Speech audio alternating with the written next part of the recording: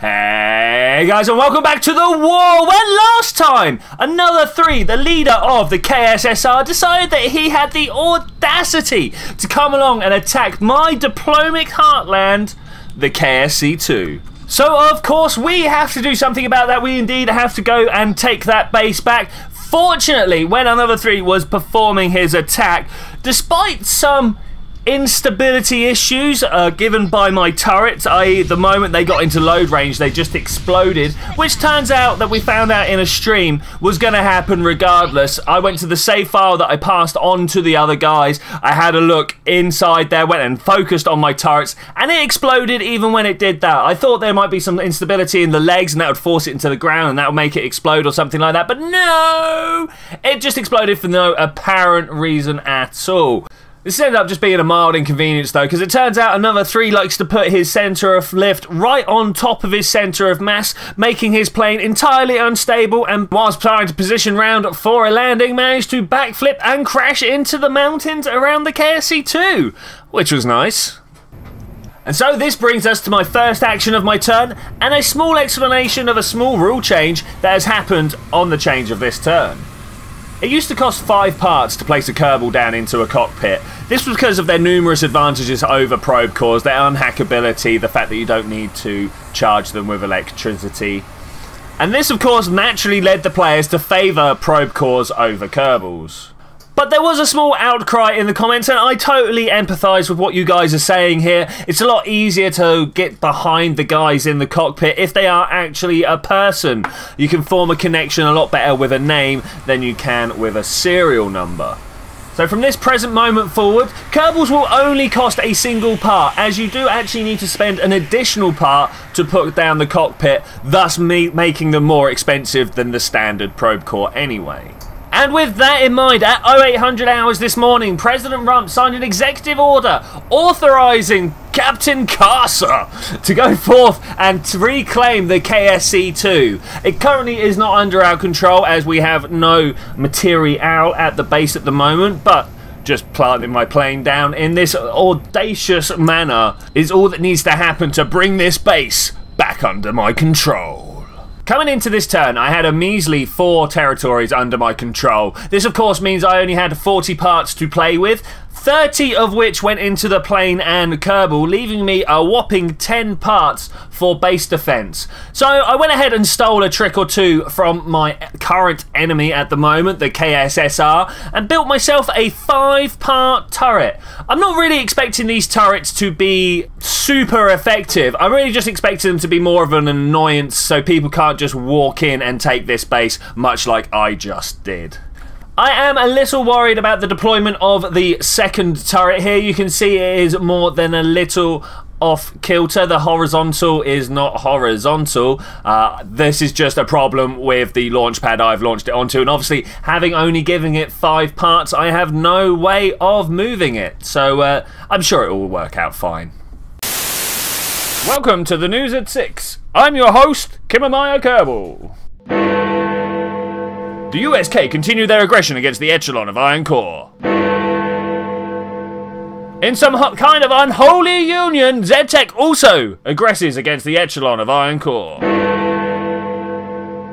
Outmanned and outgunned, the command center of the echelon of Iron Core flee to outer space.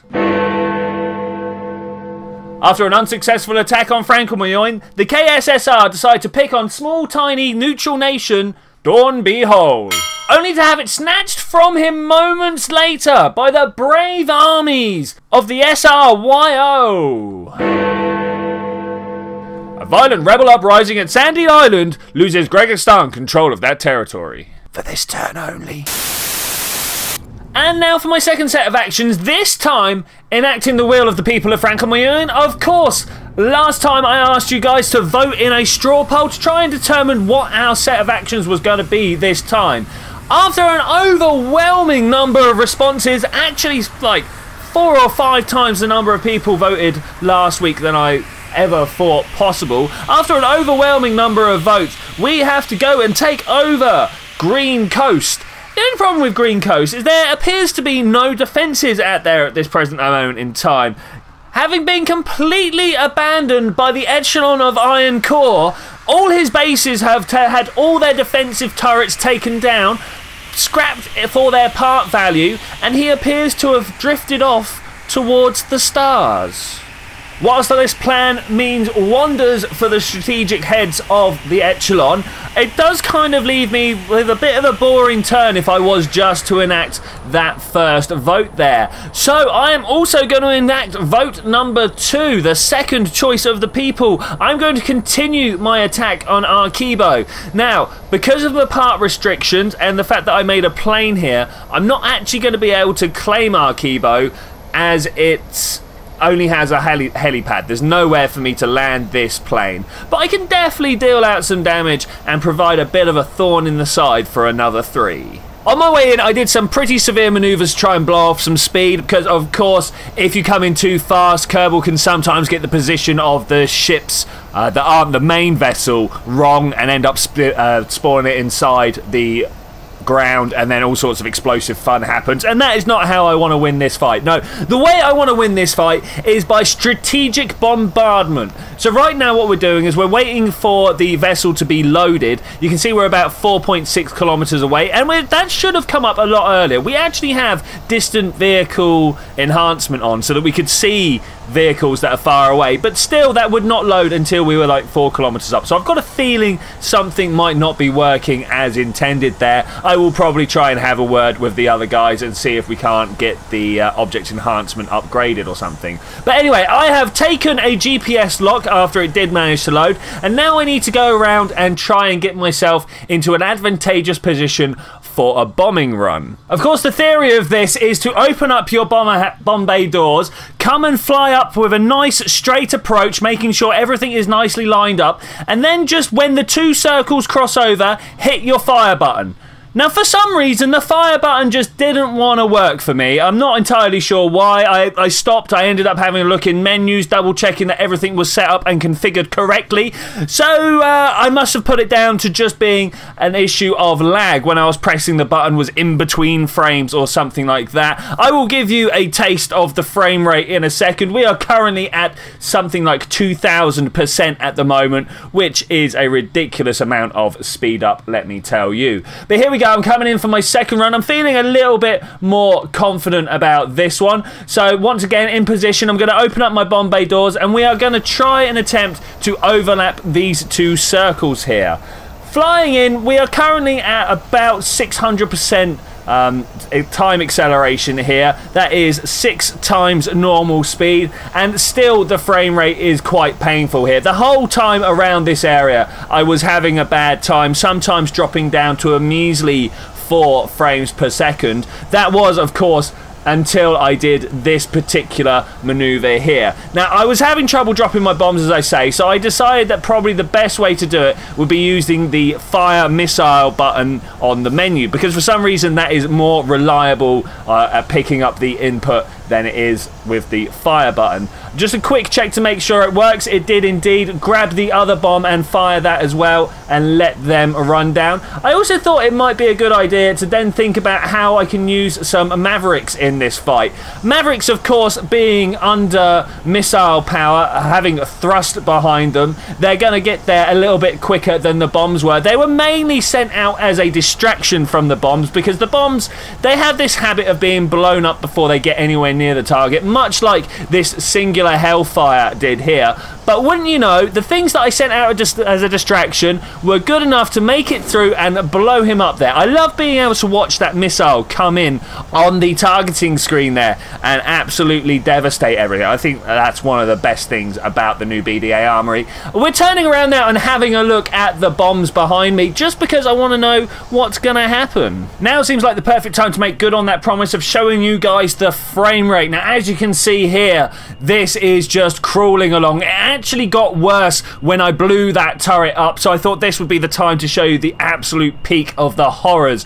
And this is why I go through at a astounding acceleration rate when I'm doing the editing because th this is just painful. It literally took me about two and a half hours to record the 45 minutes worth of action. But as you can see, the bomb actually impacted with the hill beforehand, meaning that during this entire series of the war, I have never managed to lay down an aggressive bomb outside of a simulated experience.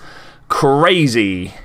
And then, because the frame rate is so bad, I try and run through a few things to try and sort it out. First is to obviously stop the recording. Second, I tried deleting all the parts from Arkibo. All of these things actually didn't help. And so we find ourselves 80 kilometers away from Green Coast, right on the very edge of the Arkibo Basin. I presume that's what we're going to call the massive crater that is on the other side of the planet from the KSC. This is, of course, is where mine, the KSSR, and the Echelon Corps lands are all meeting in a nexus of hostility and war, which is actually this border that I am crossing right now. So I'm starting to uh, zigzag back and forth, trying to lose some speed because there are two things things that are detrimental to coming in for a nice landing. The first one is having too much altitude, and the second is having too much speed. Both of these things will mean that you overshoot the runway by a prestigious amount and have incredible difficulty trying to get your wheels on the floor without hitting the ground far too hard and exploding,